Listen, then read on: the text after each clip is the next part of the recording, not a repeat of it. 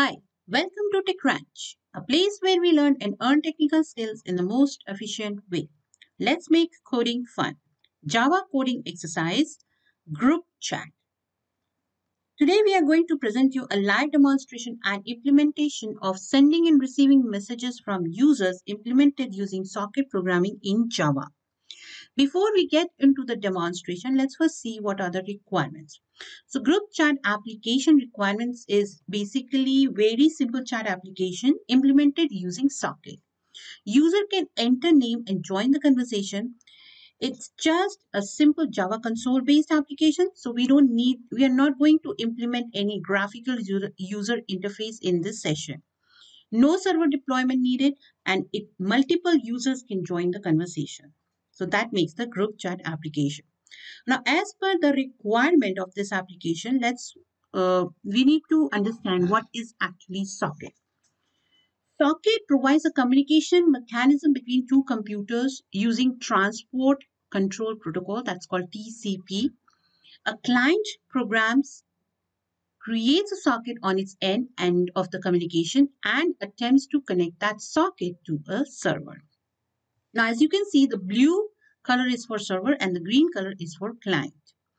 So when the connection is made, the server creates a socket object on its end of the communication and the client and server can now communicate by writing to and reading from the socket. There is an API, socket API mentioned in java.net socket that class represent a socket and the java.net server socket class provides a mechanism for the server program to listen for clients and establish connections with them. Now, as per this uh, picture, you can see the socket creation and implementation is mentioned in few steps. Now, step one is server instantiates a server socket object denoting which port number communication is to occur on. The next step, we are going to bind the IP address and the port number using the bind method. The server invoke the accept method of the server socket class. This method waits until the client connects to the server on the given port. After the server is waiting, the client instantiates a socket object, specify the server name and the port number to the connect to. Constructor of the socket class attempts to connect the client to the specified server and the port number. If communication is established, the client now has a socket object capable of communicating with the server. On the server side, we have the accept method that will return a reference to a new socket on the server that is connected to the client socket.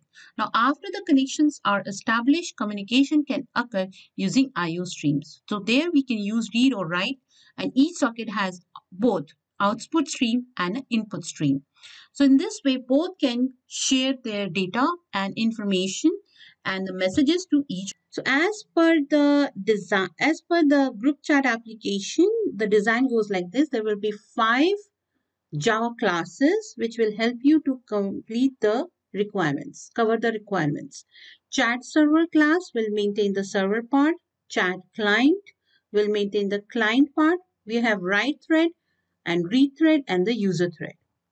Now, as for the development is uh, the development goes like a create a chat server Java class, create the chat client Java class with the port and the IP address that will bind it, and create user thread that will create a thread. So we have to maintain the multi-threading too create write thread, create read thread. So here we are going to maintain the multi-thread with I input and output stream handling. So you will learn socket API and we are going to implement the IO. In, uh, we are going to implement the input output stream and multi-threading and the socket. So all three of them are going to combine in this uh, application and come up with a real-time practice project for you group chat application. Now let's take a look at the demonstration. So as per the picture you can see how we are going to work on. This is a complete very basic application. So we are going to use the notepad here instead of editor. So let's take a look at the demonstration.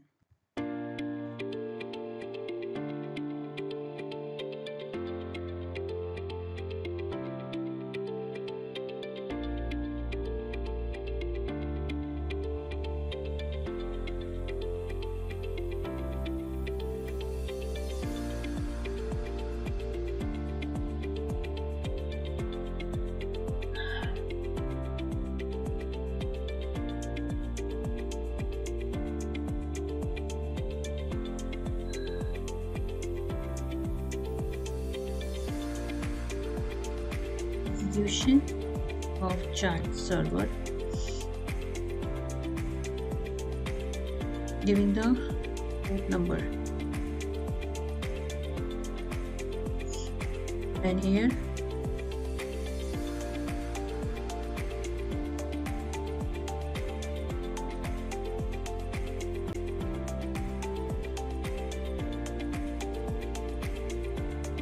Connected to the chat server. Suppose uh, my first client is TechRanch. Now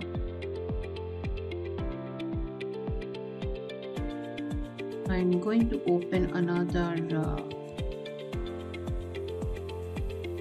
window for another client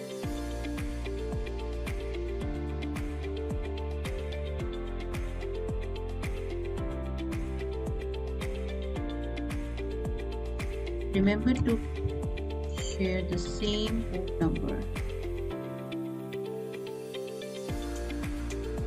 Okay. So as you can see here chat server is broadcasting all the information of all the students all the user connected to this room. See new user connected new user connected. So TechRanch is connected now. The new user connected student A. So it's accumulating all the users server and the client.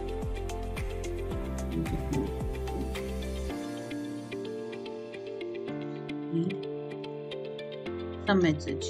It will display here. Here details so if in case uh, he, this person can respond to the another student A here. Now just in case you can use as many as users in this group chat application.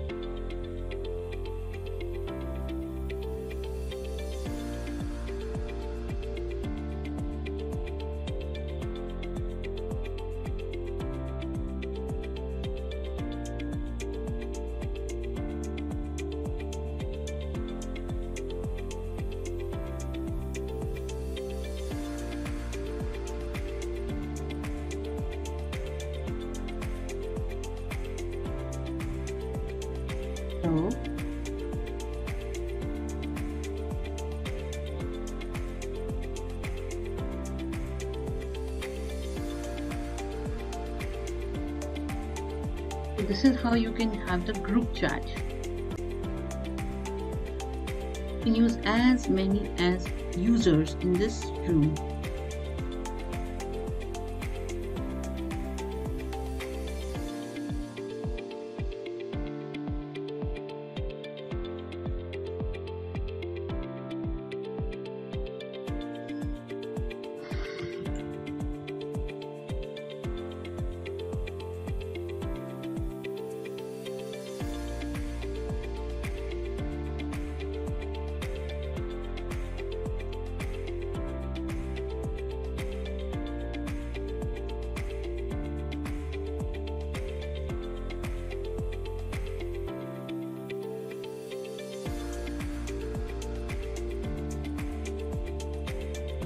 This is the place where the TechRanch is taking care and making a room for all the students and they're sharing their messages and it's responding to each and every one individually and broadcasting all the messages here.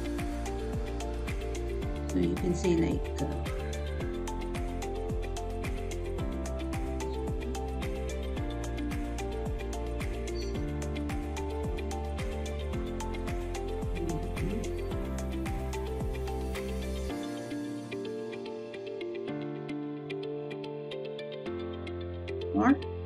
this is how we can have any kind of messenger or online or any kind of help desk services medical services without graphical user interface. You can add graphical user interface using awto swing api and implement this. So here we have implemented multi-threading socket and input output very basic group chat with which include all the features like displaying the usernames implemented in a collection framework hash set type of collection framework. So this was the live implementation and demonstration of group chat using socket programming in Java. Now practice project for homework. Get a hands-on experience how it works. So here today uh, here for socket implementation we have seen the group messenger where a number of users can interact to each other using a socket. Now, similarly, instead of texting the message, what if in case if we need to share the images, text file, source code, or any document to each other? And can, can be used in many places like uh, sending an email or while messenger you can share the images or some emoticons or some in some GIF animated videos and all. So all these things can be done with the help of Socket API implemented in Java. Let's take a look at the small demonstration for file transfer implementation. So this is my Eclipse IDE and for file transfer demonstration, I want to show you my code. This is my application and here is the client code where we are going to create the socket and have a source code and source file name and, and this is my server. And here we are going to handle the file output stream. And this is the file event which has all the parameters which we need to uh, share the files from one source to another. Now what I'm going to do here we have the another package or another folder basically where we are having the source folder and the destination folder. So that particular folder path we have defined here in the client as you can see here.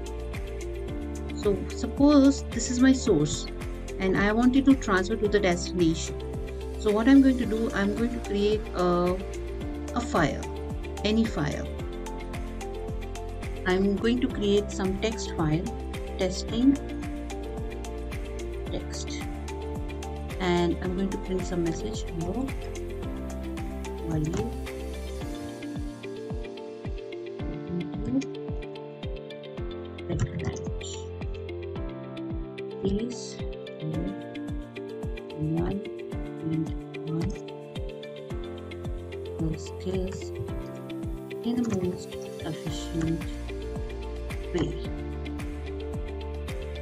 Let's so this is what the my text file looks like. Now this is in the source folder. Now I wanted to put it in a destination folder. So what I'm going to do is first I'm